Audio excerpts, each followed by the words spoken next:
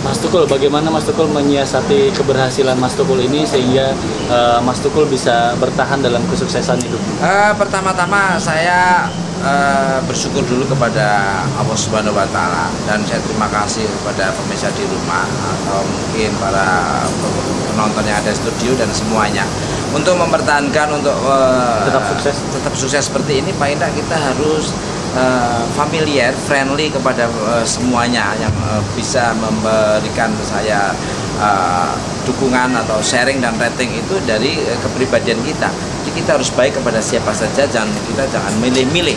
Kalau kita ketemu orang, kalau orang mau minta foto ya kita siap. Walaupun kondisinya itu walaupun capek, walaupun itu keadaan kondisinya lagi ada shooting atau gimana, ada kesempatan biarkan mereka untuk menikmati saya dan pokoknya harus selalu gitu dan kita harus on time disiplin waktu. Saya seniman tapi disiplinnya militer. Saya tidak pernah namanya ada perubahan dalam diri saya yang dulunya nggak ngetop sekarang bisa seperti ini. Terus saya tidak on time tidak. Saya tetap on time terus. Tidak ada tidak on time dan saya nggak pernah alasan klise.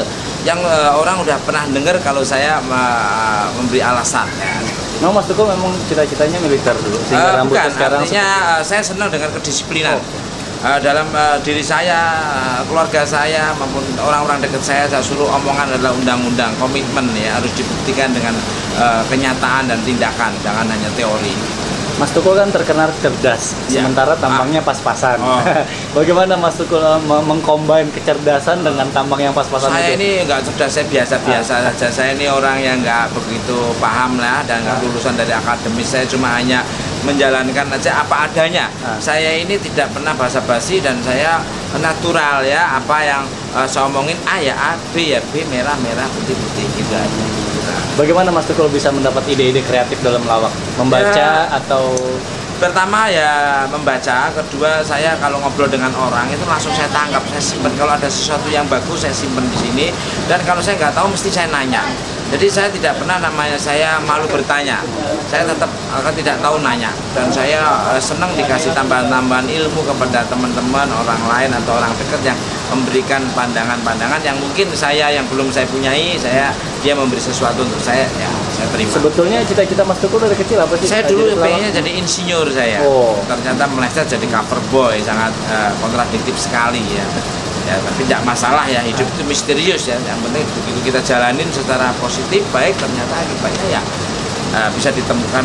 Saya seperti ini saya bersyukur menurut Mas Tukul uh, standar kesuksesan seorang itu apa Mas?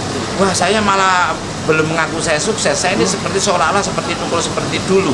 Jadi saya membayangkan seolah-olah saya turun dari pasar Senen dengan membawa uang 1250 dengan alamat yang ditulis sama teman saya, terus naik e, PPD 10, terus turun Ratu Plaza, naik nyambung lagi PPD 12, terus turun pom bensin Seromati, terus nyari alamat. Jadi saya seolah-olah ini saya belum nyampe-nyampe. Jadi saya tetap kerja kerahnya itu tetap e, tidak ada henti-hentinya. Nah, kalau yang saya tahu dari cerita-cerita teman-teman Mas Tukul ini orangnya sederhana ke mana-mana naik iya, motor ya, ya. kenapa Mas Tukul melakukan hal ya karena itu? saya itu tadi e, kalau di Jakarta tahu sendiri ya kemacetan lalu lintasnya itu kadang-kadang tidak bisa diprediksikan ya Oh, tiba-tiba yang hanya jarak 300 meter aja bisa ditempuh sampai eh, lima uh, tahun, 4 tahun sampai ganti presiden di situ masih macet. Nah itu sangat luar biasa. Nah, saya nggak mau saya ini mengecewakan konsumen. Saya mutus saya ada puas kami lemas. Artinya saya bagaimana konsumen itu pakai saya lagi dengan saya on time disiplin waktu dengan saya saya prediksikan dengan saya naik sepeda motor pasti tepat jam sekian saya mesti uh, nyampe di lokasi. Tapi kalau hujan atau jauh ya saya prediksinya uh, dua jam uh, spasinya saya baru oke okay.